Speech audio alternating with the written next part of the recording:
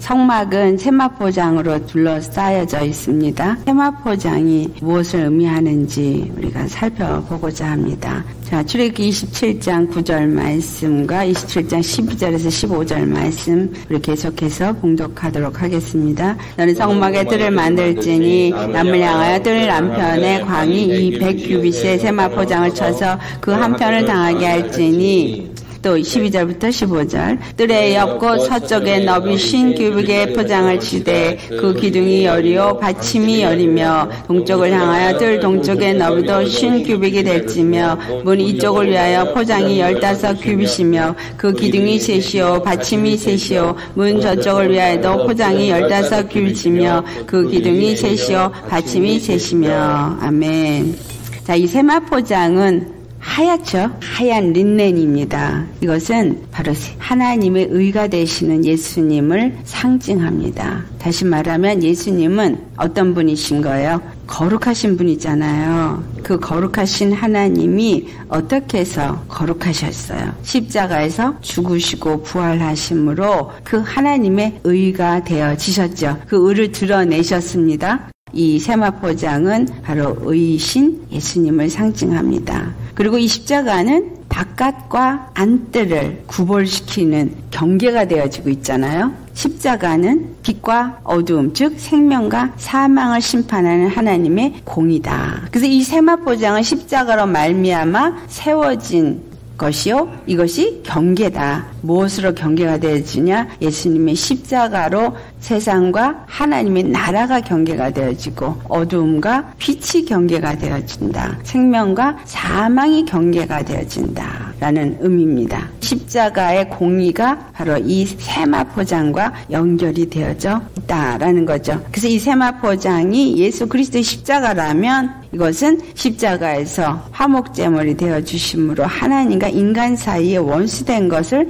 소멸하시고 우리를 예수님만으로 인도하는 그래서 우리가 바로 이 세마포장을 넘어서 그 문을 통해서 안뜰로 들어가게 되어질 때에 하나님 안에서 그의 거룩한 의로운 백성이 되어진다라는 거죠. 로마 3장 25절에서부터 26절 말씀 이 예수를 하나님이 그의 피로써 믿음으로 말미암는 화목제물로 세우셨으니 이는 하나님께서 길이 참으시는 중에 전에 지은 죄를 간과하심으로 자기의 의로심을 나타내려 하심이니 곧 이때 자기의 의로심을 나타내사 자기도 의로우시며 또한 예수 믿는 자를 의롭다 하려 하심이라 아멘. 예수님이 십자가로 자기 자신의 의만 나타낸 것이 아니라 예수를 믿는 자도 의롭다 함을 얻게 하여 주셨습니다. 그래서 이 세마포장이 예수 그리스도의 의요, 예수 그리스도의 거룩함을 나타내는 것이라면 또한 믿는 자들의 거룩함도 나타내고 있다라는 것을 우리가 알아야 합니다. 믿는 자들의 거룩함을 나타내는 것과 믿는 자들 안에서 의가 나타나져야 된다 라는 의미를 주고 있습니다. 어떻게 하면 거룩함을 입고 덧입는 자가 되어지느냐. 바로 성막 안에 거할 때 그것이 가능하죠. 이것을 하나님과 동행하는 삶을 살 수 있게 만들어 주는 세마 포장이다. 라는 사실이에요. 로마 3장 10절에서부터 12절 말씀. 시작. 기록한 바 의는 없나니 하나도 없으며 깨닫는 자도 없고 하나님을 찾는 자도 없고 다 치우쳐 한 가지로 무익하게 되고 선을 행하는 자는 없나니 하나도 없도다. 네, 로마서 3장 23절에 모든 사람이 죄를 본 말씀에 하나님의 영광에 이르지 못하더니 이 세마포장 바깥에 있는 사람은 결단코 하나님의 영광에 이르지 못합니다. 하나님에게 가서 닿을 수도 없고 하나님이 또한 우리를 향해서 올 수도 없어요. 그렇기 때문에 이 세마포장이 주는 경계의 의미는 빛과 어둠을 나누는 경계의 의미이기도 하지만 또한 죄를 완전히 분리시키는 그러한 것을 의미한다라는 걸 우리는 알 수 있습니다. 믿는 자들이 예수 그리스도 안에서 의롭다 함을 얻는 것이 바로 이 세마 포장이 갖고 있는 의미입니다. 예수님이 의가 되시고 예수님을 믿는 우리가 또한 의롭다 함을 얻는 것이 세마 포장이다. 그렇다면 우리에게서 하나님의 의가 나타나야 된다라는 거죠. 갈라디아서 2장 16절 말씀을 보시겠습니다.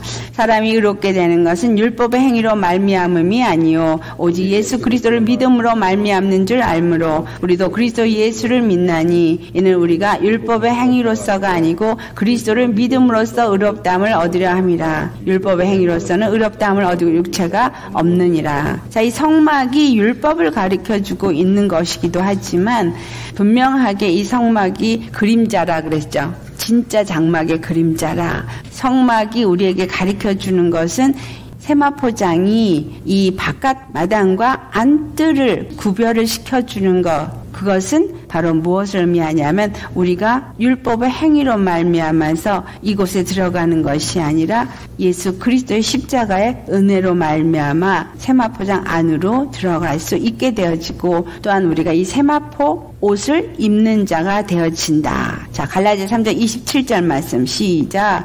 누구든지 그리스도와 합하기 위하여 세례를 받은 자는 그리스도로 옷 입었느니라. 자, 그리스도로 옷 입었다라는 얘기는 뭐죠? 이 세마 포장 안으로 들어갔다라는 얘기예요. 그래서 이 세마포장은 뭘 의미한다고요? 하나님의 의. 그리스도의 옷을 의미한다라는 얘기예요. 그래서 우리가 예수님을 믿음으로 예수님 안에서 십자가에서 죽으심을 본받아 세례를 받았을 때에 그 세례를 받았다는 의미가 이 세마포장 안으로 이 문을 통해서 들어갔다 이 말이 되는 거예요. 그래서 우리에게 그리스도의 옷을 입고 그리스도의 의가 나타난다라는 이야기는 무엇이 보여진다라는 거예요? 성막에서 세마 포장이 보여진다라는 거예요. 우리가 이 성막 안으로 들어갔다면 바깥에 있는 사람한테서는 뭐만 보여요? 세마 포장만 보여요.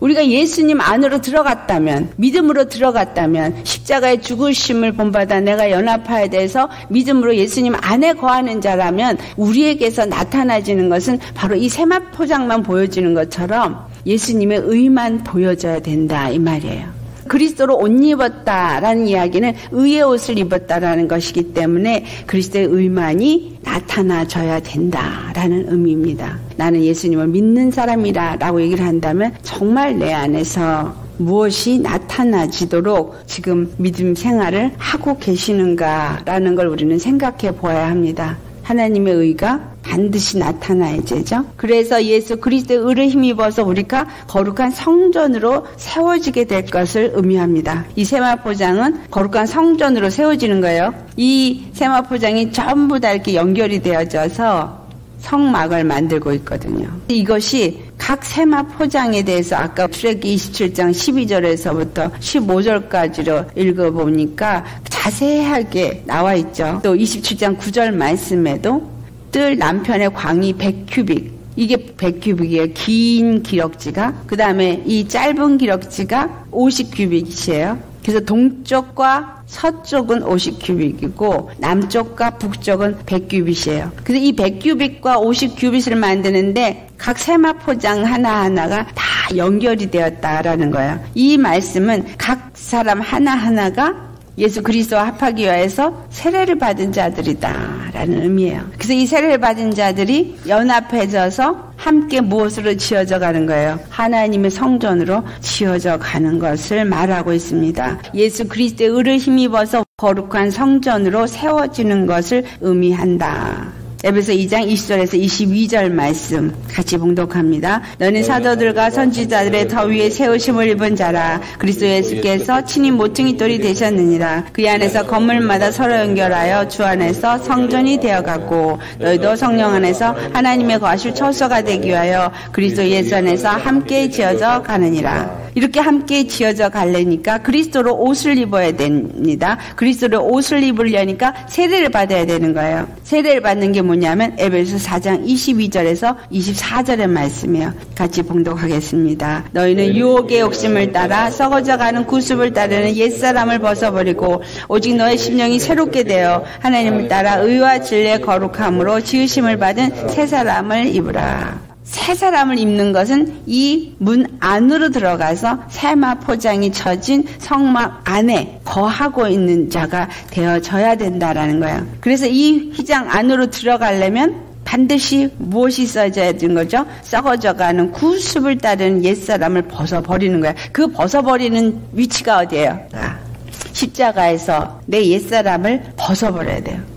십자가에 내가 죽지 않고는 옛사람을 벗어버리지 않고는 우리는 이 세마포장 안에 들어갈 수 없고 우리의 심령이 새로워질 수가 없다라는 거예요. 이 세마포장이 하나님의 의라고 말했는데 에베소 4장 24절에 하나님을 따라 의와 진리의 거룩함으로 지으심을 받은 새 사람을 입으라 이 말이에요. 이 휘장 안에 들어가서 성막 안에 있는다는 얘기는 의와 진리의 거룩함을 입은 새 사람이 되어지는 것이다. 내가 하나님의 성전으로 지어진 점 반드시 세마포 옷을 입어야 한다. 근데 이 세마포 옷을 계시록에서 뭐라고 말하던가요? 성도의 선한 행실. 선한 행실이 바로 세마포 장이에요. 그러면 성도의 선한 행실로 포장을 해야 된다는 얘기죠. 우리의 삶이 선한 행실이 되어져야 되는 거예요. 그러면 선한 행실이 무엇을 의미하는 거예요? 예수 그리스도가 나타나는 행실이어야 된다. 이 말이죠. 예수 그리스도가 나타나는 행함은 의가 나타나는. 그래서 예수 그리스도의 의가 나타나는 것이 바로 우리가 세마포 옷을 입었다라는 것이고 그것을 다른 말로 세마 포장이다. 계시록 19장 8절에 그에게 빛나고 깨끗한 세마포 옷을 입도록 허락하셨으니 이 세마포 옷은 성도들의 옳은 행실이로다 하더라. 세마포장은 성도들의 옳은 행실로서 예수 그리스도가 나타나는 옷을 입은 것을 말합니다.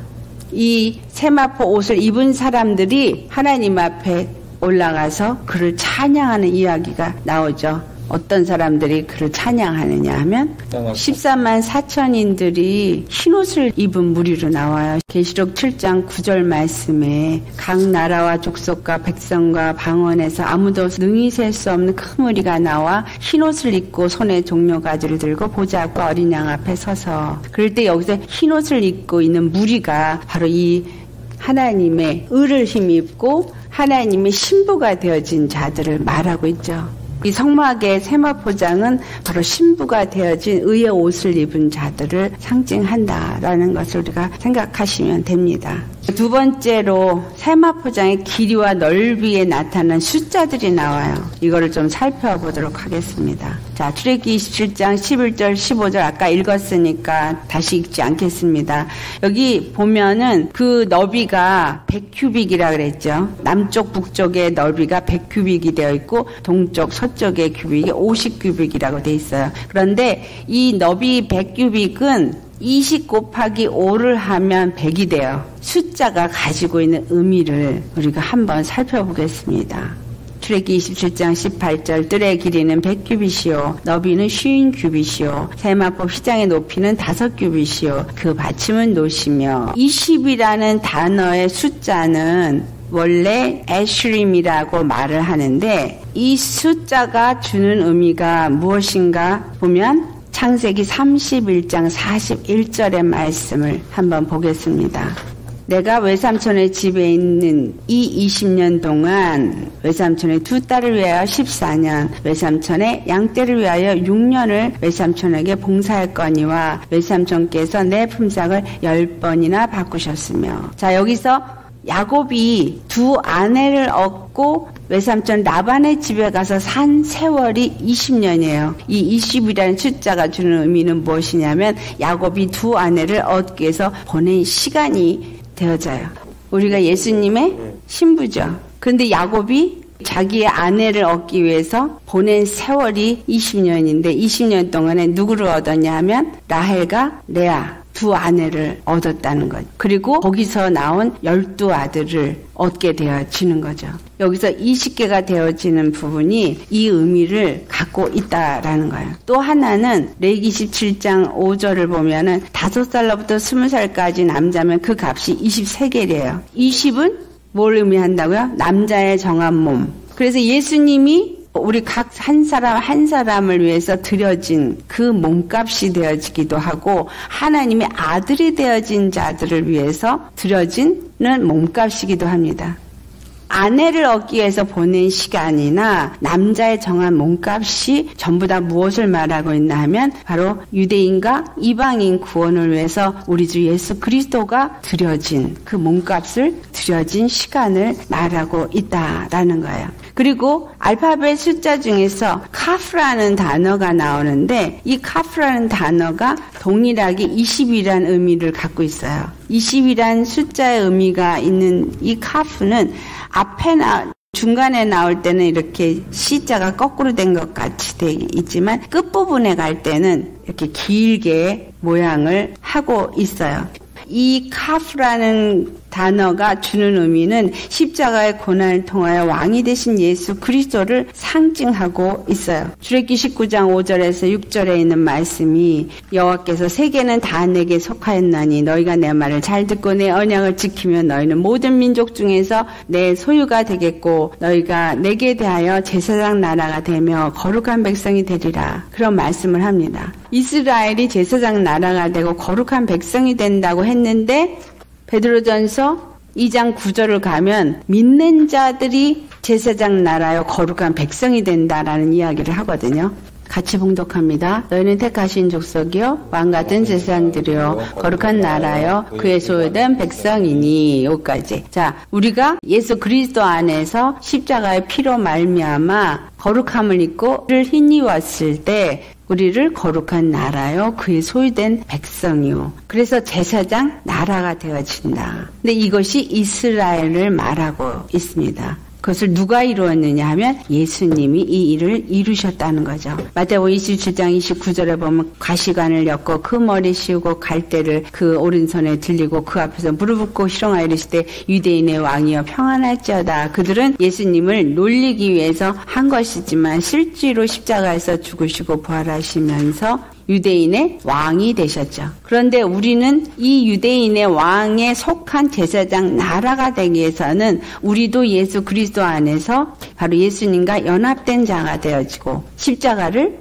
짊어지고 예수를 따르는 자가 되어져야 하죠. 야고보서 1장 12절에 있는 말씀. 우리가 시험을 찾는 자는 복이 있나니 이는 시련을 견뎌낸 자가 주께서 자기를 사랑하신 자들에게 약속하신 생명의 면류관을 얻을 것이기 때문이다. 이 생명의 면류관을 얻을 수 있는 자는 바로 왕 같은 제사장이 되어지고 거룩한 나라가 되어진 자를 의미합니다.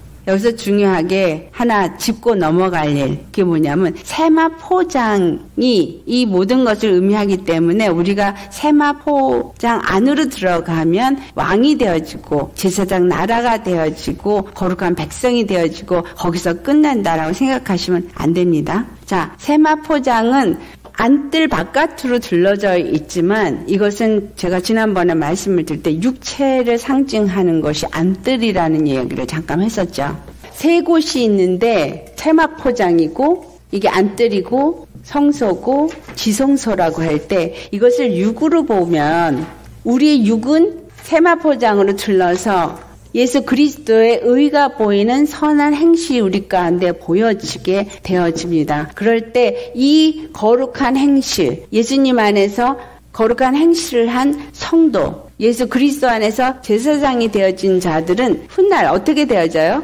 영광의 몸을 입게 되어지죠. 호련이 변화되어서 영광의 몸을 입을 때 그 영광의 몸을 입는 게 바로 이 세마포장이 주는 의미입니다. 체가 있는 동안에 예수 그리스도의 의를 보여줄 수 있는 그러한 믿음의 사람이 되어질 때 그 완전한 거룩함을 입는 영광의 몸을 입는 자가 되어지는 걸 말해요.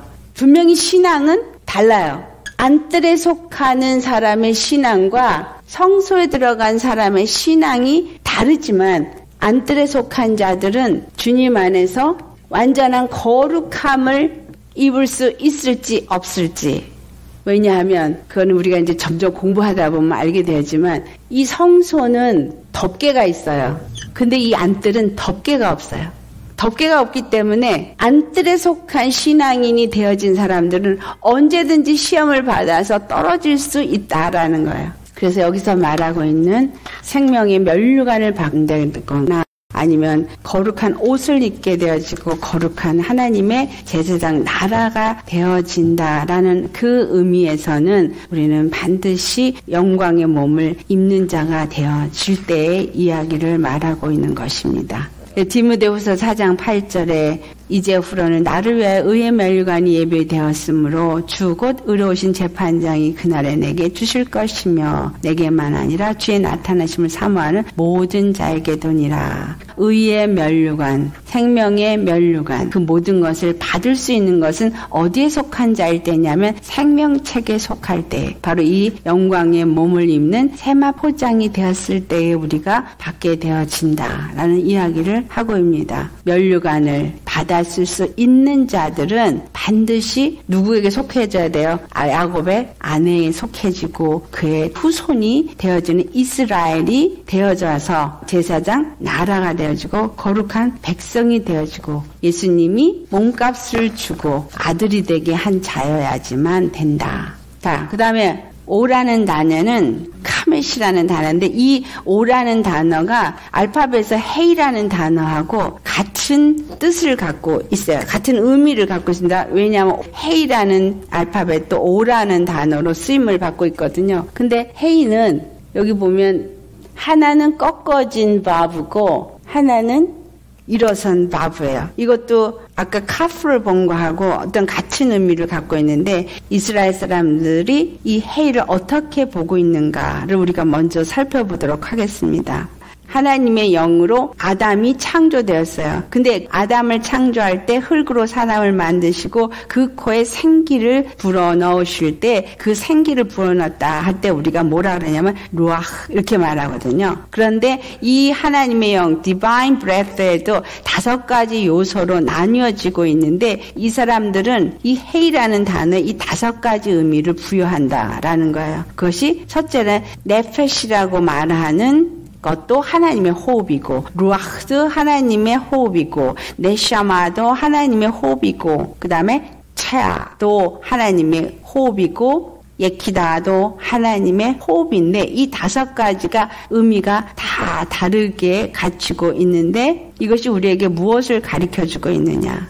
하나님의 영은 그 본능 자체가 있는데 그 안에 감정도 있고 마음도 있고 그리고 그 안에 카야라는 단어로 사용되어지는 것은 중보한다는 의미가 담겨져 있어서 예수 그리스도께서 이 땅에 낮아지시고 우리의 중보가 되어지셨다는 것. 그 다음에 예키다라는 단어가 주는 것처럼 하나라는 의미를 갖고 있거든요. 예수님이 그렇게 해서 그 영으로 말미암아 예수 그리스도 안에서 모두가 한 영으로 하나가 되게 한다. 헤이라는 단어에 다섯 가지 요소를 주는 것은 예수 그리스도의 영으로 우리가 그 본능을 가진 자가 되어지고 영적으로 예수 그리스도의 영이 우리 안에 들어오면 예수님의 그 영적인 감정을 갖게 되어지고 영적인 그 마음을 갖게 되어지고 영적으로 주님 안에서 예수 그리스도를 닮아 낮아진 자 중보를 할 수 있는 자가 되어지고 하나님과 하나가 되어진다라는 이 다섯 가지 요소가 들어져 있다라는 거죠. 물론 이스라엘 사람들은 이거를 예수 그리스도와 연관돼서 생각하지 않고 있습니다. 하나님 안에 있는 다섯 가지 요소가 누가 이 다섯 가지 요소를 다 가지고 있어요. 바로 예수님께서 이 다섯 가지 요소를 가지고 있고 그 요소가 우리가 예수님을 믿게 되어질 때 우리 안에 이 다섯 가지 요소가 들어와서 우리도 그와 같이 되게 하여 준다라는 이야기입니다. 시편 33편 6절 말씀을 보면 여호와의 말씀으로 하늘이 지음이 되어 있고 그 만상을 그 입 기운으로 지었다 할 때 여기서 그 기운이 루아흐라는 단어로 쓰임을 받아요. 하나님의 영으로 하늘이 지음을 받았는데 그 영이 여호와의 말씀이라는 거죠. 여호와의 말씀이 여호와의 영이고 바로 말씀이 예수 그리스도이시고 해이라는 것이 또 어떤 부분에서는 열매가 풍성한 그것이 뭐냐면 아브람을 하나님이 아브라함이라 이름을 짓게 하고 사레를 사라하라고 하면서 이 헤이가 두 개가 다 들어가는 것은 풍성한 열매가 아브라함과 사라를 통해서 이루어져서 이들이 모든 민족의 아비와 어미가 되어지게 하는다. 근데 그것을 누가 이루느냐 하면 바로 이삭을 통해서 이루는데 그 이삭은 바로 예수 그리스도를 상징하고 예수 그리스도 안에서 창대케 되어지는 일이 이루어진다. 그래서 이 창대케 되어지는 일이 바로 세마 포장이 창대케 되어지는 거예요. 한 영혼 영혼이 예수 그리스도 안에서 연합이 되어져서 연결이 되어져 가지고 그것들이 함께 모여서 하나님의 거룩한 성전이 되어지고 그리스도의 몸된 교회로 세워지게 되어질 때 하나님이 원하시는 제사장 나라가 온전히 세워지게 되는 것이다. 세마 포장이 오오잖아요. 정사각형. 그러니까 이 정사각형이 뭐예요? 예수 그리스도 안에서 반듯한 믿음의 의를 가진 의로운 사람, 바른 사람, 진리. 예수님이 진리잖아요. 그 진리의 사람, 똑같은 사이즈로 똑같은 것이 연결이 되어 있으면서 뭐가 나타나는 거예요? 예수님의 성령이 나타나야 되는 거고 첫째는 이 헤이라는 단어가 가진 오라는 것이 하나님의 디바인 요소가 그 안에 들어있기 때문에 성령의 요소가 들어있기 때문에 그러니까 우리 지체 하나하나가 성령으로 하나님의 영의 본능과 하나님의 영의 감정과 하나님의 영의 마음과 하나님의 그 중보의 낮아짐 겸손과 그래서 예수님 안에서 하나 되어진 자들이 그 한 세마 포장이 되는 거예요. 그래서 예수님의 의의 모습만 보여지는 자인 거예요. 그런 자들이 서로 연결이 되어지는 거죠. 동쪽과 서쪽의 너비가 또 50규빅이라고 나와요. 그 100규빅과 50규빅. 50규빅도 역시 5 곱하기 10이면 50이 되겠죠. 그런데 이 50이라는 단어가 또 눈이라는 단어가 되어져요. 눈이라는 단어는 중간에 나올 때는 이렇게 꼬부라지게 나오고 또 이것도 끝부분에 나올 때는 이렇게 길게 그냥 똑바로 쓰게 돼 있어요. 그래서 이것도 겸손하게 낮아지신 우리 주 예수 그리스도고 이거는 왕으로 승리해서 세워지신 예수 그리스도를 말하고 있다. 그래서 이 눈이라는 단어는 예수 그리스도 안에서 완전한 생명으로 우리가 자유함을 얻게 되어진 그것을 상징합니다.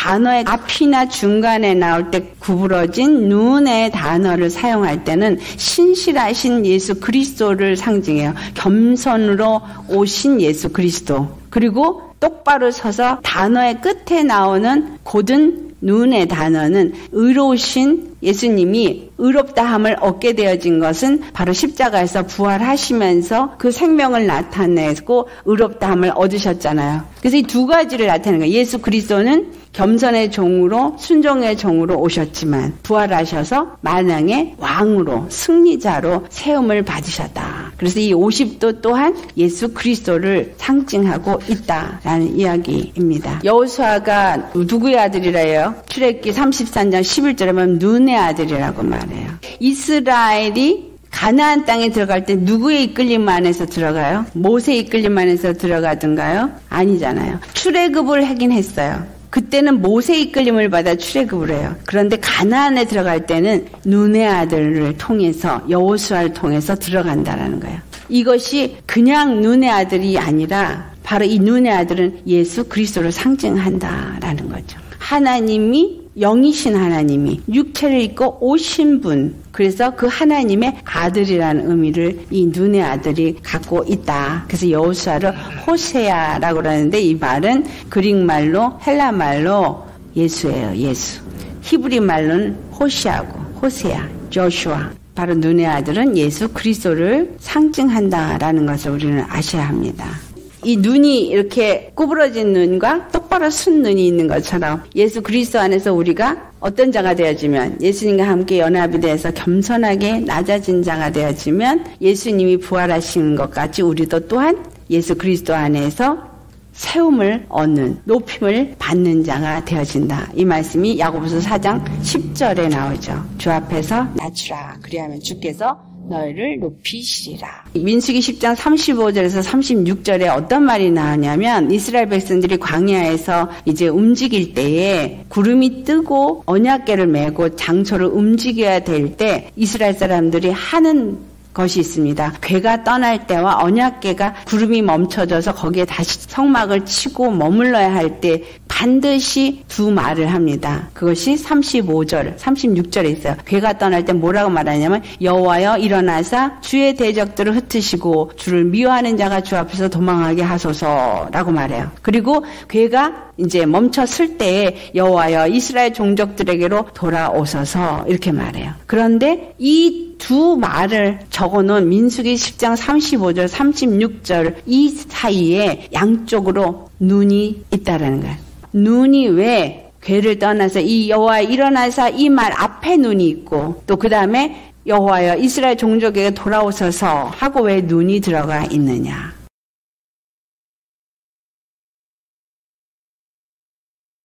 바로 예수 그리스도가 일어나셔서 생명의 부활로 말미암아 주를 미워하는 자 사단을 그 앞에서 진멸하시는 심판의 역사가 예수 그리스도로 말미암아서 일어날 때 배가 떠나는 거예요. 어디로 움직여서 하나님 앞에 들려 올라가시게 되죠. 그 다음에 이스라엘 종족에게로 다시 돌아오실 때 그 눈이 다시 있다. 바로 예수 그리스도로 인해서 그 초림하실 때 이루신 일과 또한 재림하실 때 이루실 일 두 가지를 말해주고 있다. 그래서 이 앞뒤로 기록된 눈이라는 단어가 왜 거기에 기록이 되어져 있느냐. 그 기록된 것은 바로 예수 그리스도께서 그 일을 이루실 것을 기록해 놓은 것이다. 바로 예수 그리스도로 인해서 그 초림하실 때 이루신 일과 또한 재림하실 때 이루실 일 두 가지를 말해주고 있다. 그래서 이 앞뒤로 기록된 눈이라는 단어가 왜 거기에 기록이 되어져 있느냐. 그 기록된 것은 바로 예수 그리스도께서 그 일을 이루실 것을 기록해 놓은 것이다. 20세마포 휘장이 서로 연결되어져서 100큐빅을 만들어낸 이것은 바로 각 사람, 예수 그리스도 안에서 하나님의 의를 힘입고 거룩함을 힘입어서 그의 신부가 되어진 그리스도인들이 연합이 되어져서 바로 이 세마포장을 만들어내고 하나님의 거룩한 성전으로 지어져 가는 것을 말하고 있다라는 거예요. 그래서 우리도 예수 그리스도께서 십자가에서 죽기까지 낮아지셨기 때문에 그가 부활하심으로 하나님의 의가 되셨고 만물의 통치자인 왕이 되어지신 것처럼 테마포장으로 함께 만들어지기 위해서는 우리도 낮아지고 예수 그리스도 안에서 생명으로 일어나서 생명의 면류관, 의의 면류관, 영광의 면류관을 쓰는 제사장 나라가 되어지고 왕 같은 제사장이 되어지는 자가 되어야 한다. 그 말이죠. 왜 굳이 이렇게 숫자를 알아야 되느냐? 이스라엘 사람들이 갖고 있는 이 숫자의 의미가 굉장히 중요한 의미를 갖고 있기 때문에 주님이 그래서 이 모든 것을 만들 때 정확하게 몇 큐빅하고 몇 큐빅하고 한 이유가 있다. 그런데 오라는 숫자는 단어 안에서 카프가 들어간 때는 이렇게 구부러진 걸 쓰지만 맨 끝에 할 때는 얘가 쓰는 거를 사용하는 두 가지가 있고 또 50이라는 단어도 눈이라는 단어가 있는데 이렇게 단어의 중간에 나올 때나 앞에 나올 때는 구부러지는 걸 쓰지만 맨 뒤에 갈 때는 똑바로 쓰는 단어를 쓰는 이 두 가지가 똑같이 있는데 이 두 가지를 뭐를 말하고 있냐면 하나님의 신실하심과 겸손함을 말하고 이것은 하나님의 왕같이 서서 통치하시고 승리하시는 그 하나님의 의미를 준다라는 거예요. 그 사람들이 생각할 땐 신실함과 하나님의 거룩하신 그 승리의 왕을 표현하고 있지만 이 두 가지를 하신 분이 누구냐? 이 두 가지를 하신 분이 바로 예수 그리스도라는 거죠. 히브리어 중에 바브라는 단어가 있는데 이 바브라는 단어가 이렇게 구부러졌다라는 거예요. 눈도 똑같이 바브가 구부러진 거고 카프도 똑같이 바브가 구부러진 단어라는 거예요. 구부러진 건 예수 그리스도의 겸손하심을 말하고 있고 이것은 바로 인자로 오신 예수를 말한다. 인자로 오셔서 낮아지심을 말하고 있고 또한 똑바로 쓴 카프나 눈은 바로 십자가에서 부활하시고 승리하신 예수님을 말한다. 결국은 예수 그리스도가 오셔서 이 모든 일을 이루시는 것들이 헤이라는 단어를 쓴 거나 카프라는 단어를 쓴 거나 또 눈이라는 단어를 쓴 거나 이 모든 것이 전부 무엇을 의미하냐면 바로 예수 그리스도를 통해서 하나님이 우리 이루신 구원에 대한 이야기를 하고 있다라는 의미예요. 이 20개가 세워지도록 한 것이 바로 이 헤이 예수 그리스도로 연합되어진 자들이 하나님의 온전한 장막으로 세워지게 되어진다라는 의미예요. 그래서 우리가 하나님의 온전한 장막으로 세워지려면 반드시 연합이 되어져야 된다라는 의미죠. 독불 장군은 없다는 거예요. 혼자서 안 되는데 어떤 사람이어야 되느냐? 바로 이 헤이라는 단어와 눈이라는 단어로 우리가 돌아볼 때 아, 예수 그리스도와 완전한 연합이 되어진 십자가의 복음을 가진 의의 사람이 되어져야지만 그리스도의 성전으로 성막으로 지어지는 거구나. 그것을 말하는 것입니다. 그래서 세마포장이 주는 의미는 바로 성도들이에요. 성도들이 서로 연합해져서 한 성전으로 지어져 가는 거. 아까 우리가 읽었죠. 에베소서 2장 20절에서부터 22절 말씀. 예수 그리스도가 모퉁이 돌이 되어져서 그 안에서 성전이 되어져 가고 우리도 성령 안에서 하나님이 거하실 처소로 함께 지어져 간다. 그럴 때 이 20이라는 단어는 바로 신부들을 의미하는구나. 20개가 지어진다라는 이야기는 하나님이 원하시는 성전으로서 신부들이 세워지는 것을 의미하고 있다. 그리스도의 신부가 되기 위해서는 반드시 예수 그리스도의 그 십자가에 죽으시고 부활하심에 연합된 자가 되어야 한다라는 거죠. 그러니까 오늘 이 세마포장에서는 하나를 요약해서 생각하면 되는 바로 예수 그리스도의 십자가로 말미암아 세우신 그 의유를 우리가 잊고 예수님과 연합돼서 의인이 되어진 자들이 함께 지어져 갈 때 하나님의 성전으로 지어지는 것을 이 세마포장이 의미하고 있구나라고 생각하면 돼요. 정말 이 성막을 자세히 들어가서 이해가 되어지려면 이 모든 것들을 자세히 다 사실은 파헤쳐야 되거든요. 파헤칠 때 거기에 사용된 단어나 거기에 사용된 모든 기물들이나 거기에 사용된 재료나 이런 게 다 어떤 의미를 주고 있기 때문이거든요. 그래서 이스라엘 사람들만 알 수 있는 의미들이 그 헤이라는 단어에 하나님의 다섯 속성, 그 영적인 요소들을 우리가 절대 알 수가 없잖아요. 근데 그 히브리 사람들이 하나님의 영에 대해서 쓰는 다섯 가지 단어가 그 갖고 있는 의미들 이런 것들은 그 사람들만 알고 있는 것들이에요. 근데 이게 이해가 잘 되면 훨씬 더 알아질 수 있는 깊은 의미가 있거든요. 하나님의 의다. 오라는 숫자가 하나님 의다. 이러고 끝나버리면 그냥 그렇게 하고 그냥 갈 수 있어요. 근데 우리가 하나님의 의를 입은 사람이면 어떤 사람이 되어지냐. 그 얘기를 좀 더 자세히 들어가면 히브리 사람들이 갖고 있는 그 헤이라는 단어가 주는 하나님의 다섯 영적인 그 부분을 의미하고 있다라는 걸 알 때 내가 그러면 하나님의 그 영성을 함께 가진 자가 되어져야 된다라는 의미를 말하게 되어지거든요. 그러니까 하나님이 가진 그 다섯 영성 그 부분이 뭐냐? 그러니까 하나님은 영적으로 원래 가지신 본능이 있으시죠. 그 본능이 어떻게 해서 우리한테 주어질 수 있냐면 루아 하나님의 그 영이 우리 안에 들어오면서 그 본능이 우리에게 하나님의 어떤 그런 감정, 마음, 그러니까 분을 내도 하나님의 감정의 분은 죄인들이 갖는 분하고는 또 다른 부분이잖아요. 하나님의 의 안에서의 분. 슬픔도 하나님의 본능 안에서 있는 슬픔. 우리가 이 땅에 갖고 있는 슬픔하고는 전혀 다른 거잖아요. 근데 그러한 것들이 하나님의 영을 받았을 때, 하나님의 의가 되어졌을 때 우리에게서 나타나야 되어진다라는 거예요. 근데 어떻게 그것이 우리 안에서 나타나지냐면 성령이 우리 안에 임하시면 그 성령으로 말미암아 우리 안에서 이러한 것들이 나타 나지게 된다. 그 헤이라는 단어가 그 오라는 숫자 안에서 나타나지는 의미들이 결국은 우리가 믿음 생활을 하는 사람들 속에서 나타나줘야 된다. 예수님의 본능과 예수님의 감정과 그리고 중보의 영이 우리 안에 있어지고 그리고 예수님 안에서 하나가 되어질 수 있게 하는 모든 것들이 성령으로 말미암아 일어나고 있다. 실질적으로 이렇게까지 자세히 안 하면 깊은 의미까지 우리가 알아치지를 못하잖아요. 그냥 세마포장이 우리 한 사람 한 사람이 연합돼서 만들어진 겁니다. 그렇게 하고 끝나버리면 그냥 그런가 보다. 하지만 실제로 이 숫자가 주는 의미를 하나하나 풀면은 구체적으로 뭐가 나와요? 아, 내가 이 정도로 닮아야 되는구나. 이 정도로 예수님과 연합이 되어져야 되는구나. 이 정도로 예수님이 낮아지시고 야고보서 얘기를 한 거. 너희가 낮아지면 하나님이 널 높이시라. 결국은 이게 5라는 숫자에 들어가는 사람이 되라 이 말이거든요.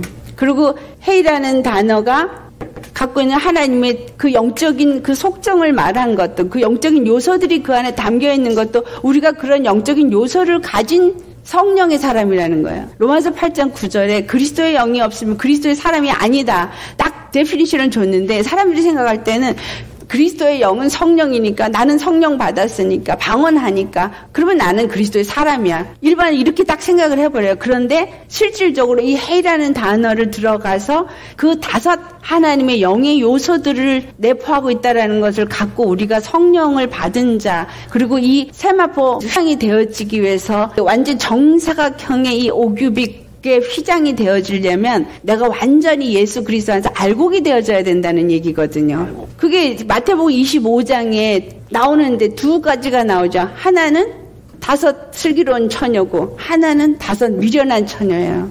다섯 슬기로운 처녀가 바로 이 세마 피장인 거예요. 이 사람들은 예수 그리스도의 의로 옷 입은 사람이고 거룩해진 자고 정말 기름을 준비한 자들이 그냥 기름을 준비했다는 얘기가 아니라 성령의 충만함을 받았다는 의미예요. 성령의 충만함을 받으면 아까 헤이가 가진 다섯 영의 요소가 내 안에서 나타나줘야 된다는 얘기예요. 중보자가 되었다. 그냥 중보가 아 그냥 누구를 위해서 중보 기도하는 게 중보. 아니요. 중보는 예수님이 하나님과 하나의 백성 사이에 중보로 자신을 드려졌던 것처럼 그렇게 성령에 의해서 드려지는 자가 되어지고 나로 인해서 하나가 되어지도록 해야 되는 역사가 있어져야 되는 거예요. 예수님이 그와 같은 중보의 영을 가지고 오셔서 하나가 되게 하셨거든요. 그러면 나도 중보의 영을 가지고 하나가 되게 하는 자가 되어져야 되는 거. 이게 바로 슬기로운 다섯 천인 거예요. 어, 슬기로운 다섯 천이 기름을 준비했대. 어, 기름을 준비해서 성령의 기름을 주시옵소서, 주시옵소서. 이게 아니라는 거예요. 이게 잘못 오해하니까 잘못 구하고 있고 은사 충만하게 받으면 휴거할 것 같고 뭔가 하나님의 일을 제대로 해서 제대로 천국 갈 것 같거든요. 근데 분명히 성경에서는 완전한 예수님과 연합, 완전한 예수님의 의의 속성이 나타나는 사람. 하나님의 영에 완전히 인도함을 받는 사람. 세례받았다는 의미를 제대로 아셔야 돼요. 죽지 않으면 안 되는 거예요. 이 의의 세마 포장이 되려면 죽어야 되는 거예요. 십자가에 죽고 예수님의 의를 힘입은 자가 안 되면 절대 세마 포장이 될 수가 없어요. 그 세마 포장이 바로 성전의 옷과 같은 거예요. 내가 예수님 안에서 이 땅에 있는 동안에 그 의를 힘입고 믿음 안에 사는 자가 영원한 영광의 몸을 입게 되어지는데 그렇지 않은 자는 이 영광의 몸의 옷을 입지 못한다는 거예요. 그러니까 우리가 대강 신앙생활을 할 수가 없는 거죠.